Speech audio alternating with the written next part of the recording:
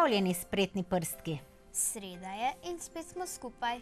Kot so z Mašo povedali že v prejšnji oddaji, bomo danes pokazali, kako pripraviti tako na hitro, pa vendarle takš, tako uspešno čarovniško zabavo. In pa predvsem, seveda, kako pripraviti zabavo s čim manj sredstvi, pa vendarle lepo in tako, da se bodo naši prijatelji, ki bodo na zabavo povabljeni, počutili dobrodošle. Če si za to Maša, bi mi dve kar začeli s pripravami. Že v prejšnji oddaji smo naredili čarovniški klobuk in pa čarovniško palico, ki sta obvezna rekvizita za čarovniško zabavo. Danes pa bova pokazali, kako izdelati takšno preprosto vabilo na čarovniško zabavo in nekaj preproste dekoracije. Za izdelavo vabila potrebujemo osnovo voščilnice, črn flomaster, šablono, črn trši papir, škarje, lepilo za papir in ravnilo. Za dekoracijo pa črn trši papir, spet šablone, škarje, nekaj belih papirnatih robcev, lahko po potrebi tudi lizike. In Maša, najbolje je, da kar začneva najprej s pripravo vabila, ki ga bomo povabljencem na zabavo poslali. Tako. Midve sva izbrali kvadratno voščilnico, to pa zato, ker bova za osnovo naredili pajkovo mrežo. Pajkovo mrežo naredimo tako, da tale kvadrat najprej narišemo na njega diagonale, to pomeni iz vogala v vogal, pa risali bova kar s črnim flomastrom, tako bova narisali potem pajkovo mrežo. Pa še drugo diagonalo. Lahko pa seveda uporabimo, če imate doma mogoče srebrn flomaster, srebrn flomaster, lahko kakšno barvico, svinčnik. Če pa uporabimo črno podlago, pa seveda našo pajčevino rišemo z belo barvico ali pa res srebrno, ki se na črni podlagi dobro pozna. Pa narišeš še eno, tako da dobimo osem delčkov, na osem trikotnikov razdelimo naš kvadrat. Sedaj pa pričneva kar z risanjem takalih lepih polkrožnih delčkov in spletava mrežo. Skratka, voščilnica bo takšna preprosta, če moramo izdelati jih več, skratka, da želimo na našo zabavo povabiti več prijateljev, je prav, da je voščilnica takšna, ki, ne, ki bo unikatna, samo svoja, ne zahteva pa veliko dela, da bomo lahko delo pravočasno opravili in vabila pravočasno poslali.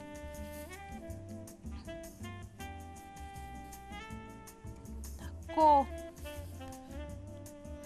Te pajkove mreže so lahko tudi naša dekoracija, še posebej, če jih narišemo res na črno podlago in jih potem kot po mreži izrežemo, jih potem lahko tudi po stenah, po oknih malce polepimo, lahko pa si pajkovo mrežo kot dekoracijo izrežemo tudi iz navadne polivinilaste črne vrečke za smeti.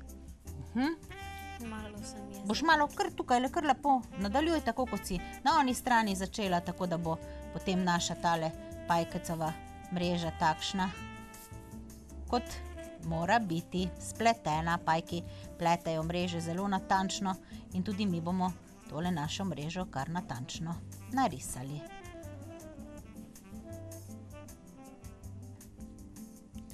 Tako, sedaj pa bova iz črnega papirja, Maša bo tukaj le narisala osnovo, midve bova naredili kar črno mačko, lahko pa seveda iz te motivike čarovniške izrežemo tudi mogoče netopirja, kakšno bučo, skratka na tole mrežo bova najprej narisali na črn karton ali pa črn tanjši papir, neki motiv iz te čarovniške, lahko čarovniški klobuk, mogoče čarovniško palico ali pa kar celo čarovnico, tokrat pa bova izrezali kar silhuete, to se pravi takšna res preprosta, pa vendarle učinkovita voščilnica bo.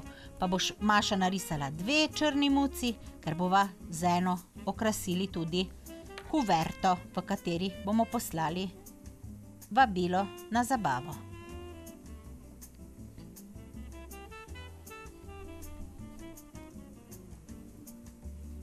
Če se pa spomnite ali pa pogledate po arhivu naših preteklih oddaj, predvsem teh oddaj okoli noči čarovnic, pa smo vsako leto pripravili kakšno idejo. Skratka, ko pripravljamo prostor za čarovniško zabavo, lahko uporabimo vse te ideje, lahko izrezljamo buče, vanje prižgemo svečke.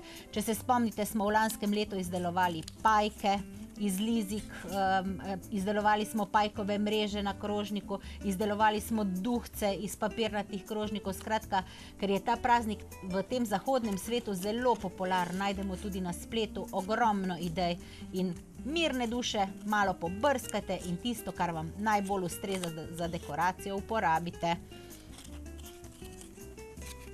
Tako, Maša sedaj muco že izrezuje silhujete naše črne mačke, ki je zaščitni znak čarovnic, poizrezala.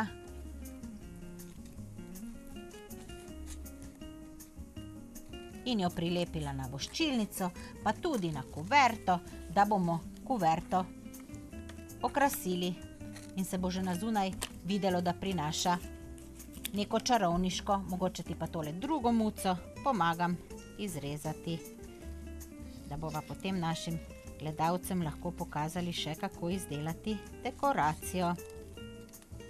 Seveda pa na zabavi čarovniški ne smejo manjkati čarovniški zvarki in če se spomnite, smo ne vem kakšno leto ali dve nazaj v enem izmed mišmašev izdelovali oziroma pokazali, kako se pripravljajo čarovniški zvarki. Lahko pa si pomagate tudi z različnimi barvami sirupov in potem na takšen unikaten, sedaj pa tole muco, lepo tukaj le namažeš z lepilom in jo prilepiš v vogal voščilnice, mogoče v tale spodnji del.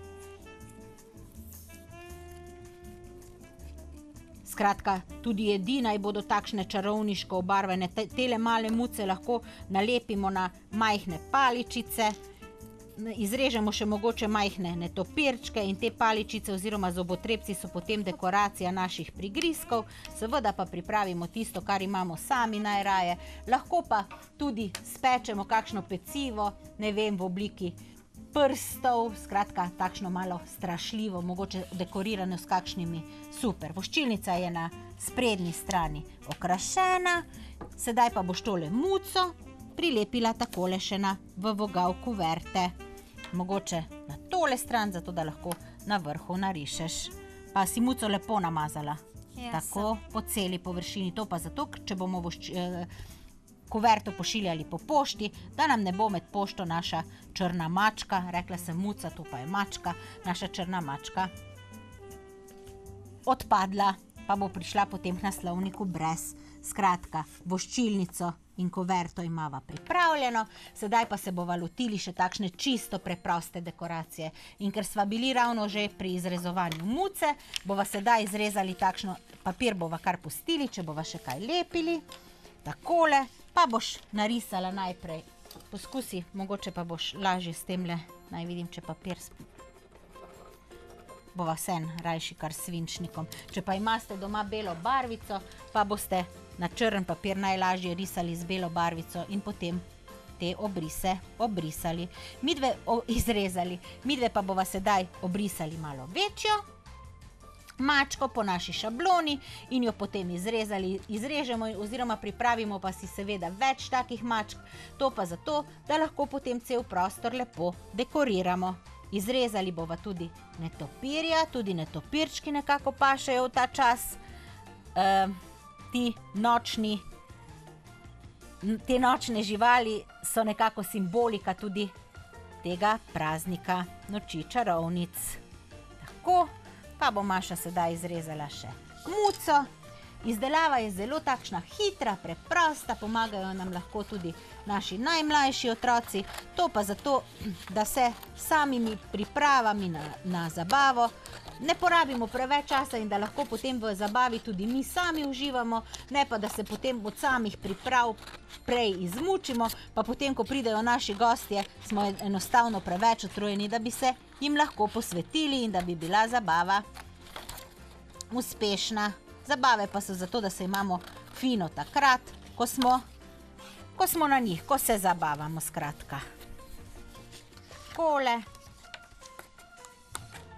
Boš Maša mogoče druge škarje ali so v redu tiste? Poskusi mogoče s temi, pa bo šlo lažje. Naj mogoče one malce prekratko rezilo. Ja, gre dosti hitreje. Gre hitreje. Pa bo, potem pa te naše silhuete polepimo po stenah, lepimo najbolje eh, ne s kakšnim močnim selotejpom, ampak jih lahko prilepimo. Eh, najboljše je, je tak bel selotejp ali pa um, naši očetje uporabljajo za zaščito pri beljenju, en tak papirnat selotejp. Skratka, če ga tako navijemo z obeh strani, bo to našo dekoracijo zagotovo zdržalo, zato ker je dovolj lahka. Lahko muce, mogoče z buckami pripnemo na kakšne zavese.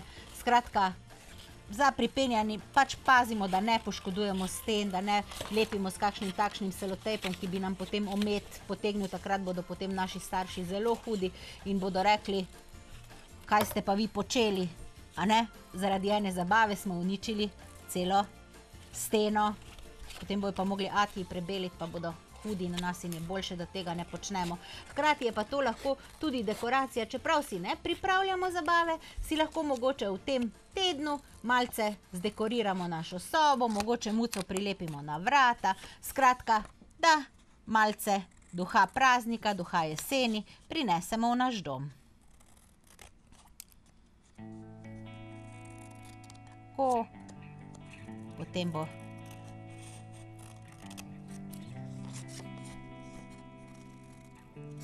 Je enostavna tale dekoracija, ne Maša? Mhm. Mhm. Tako, lahko si seveda pomagamo tudi z drugimi materiali, če se spomnite, kar nekaj oddaj nazaj. V preteklih letih smo nekoč izdelovali iz uh, toaletne rolice, netopirčke.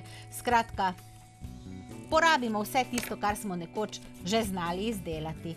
Maša je sedaj naredila tole našo muco, naredila bo še enega netopirčka spet porabimo šablono, lahko pa ga seveda narišemo tudi čisto s prosto roko. In potem izrežemo takšnega netopirja, kot smo si ga zamislili. Potem pa bova čisto na koncu si ga narisala, Maša, ali ga boš kar sama? Najprej bom. Uh, Aha, boš najprej bom- papir odrezala na... Ja, da ga ne bom preveč. da ga ne boš poveč potrošila. Takole, sedaj pa še netopirčka. Silhueta netopirja je tudi takšna zelo lahka in enostavna za izrezovanje, tako da nam bodo pri tem res lahko pomagali tudi naši najmlajši.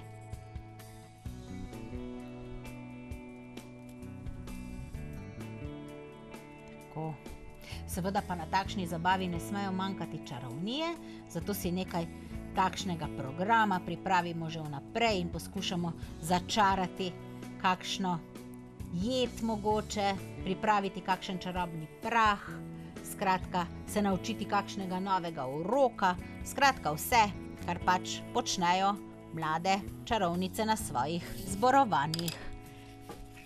Tako, šablono bomo tako lepo spravili na stran, Maša bo izrezala netopirčka.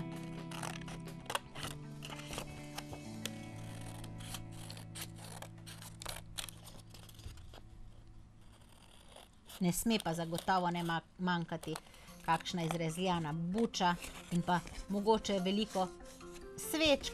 Če pa nimamo okrasnih sve, nimamo svečk z pravim ognjem, pa si prižgemo te led lučke, skratka, naredimo takšno čarobno ozračje na naši zabavi.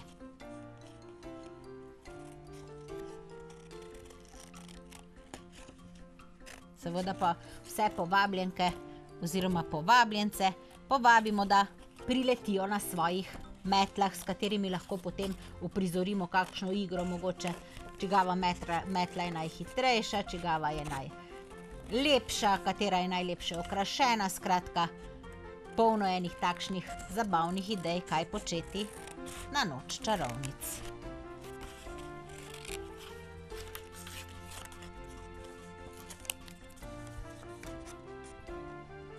Kole, še krila in repek,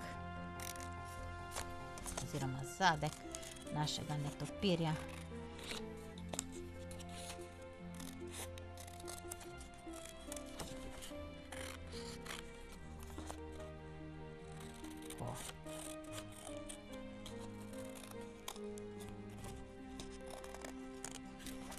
Maša, boš ti letos pripravila zabavo za noč čarovnic, oziroma ste buče že izrezovali? Uh, v bistvu ne. Uh, buči nismo izrezovali. Uh, bomo pa imeli tudi takšno, Takšno ma- zabavo. Malo zabavo. Malo zabavo, tako. Sedaj pa bova naredili še takšne čisto preproste duhce, skratka, duhce lahko izdelamo na tisoč in en način, midve pa bova naredili takšne najcenejše. Najcenej, za najcenejše duhce potrebujemo samo navaden robec, papirnati robec, en robec, takole maša zvijemo v kroglico, ki bo predstavljala notranjost naše glavice, sedaj pa kar lepo oblikuj duhca, spodaj pa mu bova zavezali mašnico, takole. Bova zavezali tole, tale trakec, to je ostanek nekih darilnih trakov, lahko pa seveda uporabimo belo prejico ali pač karkoli drugega. Teli, tile duhci so takšni zelo lahki duhci in jih potem lahko kar na šivanko več napletemo na vrvico in jih mogoče obesimo na naša okna ali pa z stropov, z luči, skratka, nič ne bomo poškodovali, če bomo tele lahke du- duhce takole naredili, za posladek oziroma za darilce, pa bomo duhca na podoben način izre, izdelali še iz lizike, v tem primeru pa bomo potrebovali samo en robec, takole, Maša boš pa ti zavezala, sama pa ti bom takole na tej liziki podržala tega le našega duhca. Skratka, tile duhci pa so res tako enostavni za izdelati, da jih res lahko izdelajo čisto majhni otroci in se ob tem smejijo. Hkrati pa jih lahko naučimo še pesmico o duhcu, ki, oziroma strahcu, ki ponavadi prebiva pod našimi posteljami in nas straši, pa se mali otroci ob tem naučijo, da je strah votel, zunaj notri votel, zunaj pa ga nič ni, skratka, da so to prazni strahovi. Takole, tale naš duhec je dobil pravo veliko pentljo, skratka, še posladek. Kot sem pa že rekla, smo v lanskem letu izdelovali na lizikah pajke in mogoče izdelamo nekaj duhcev, nekaj pajkov in zabava se lahko prične. Pri koncu današnje oddaje sva Če želite ustvariti tudi naslednjo sredo, nas gledate ob 18. na VTV-ju.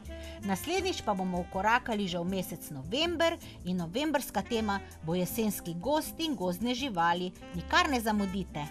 Adijo! Adijo!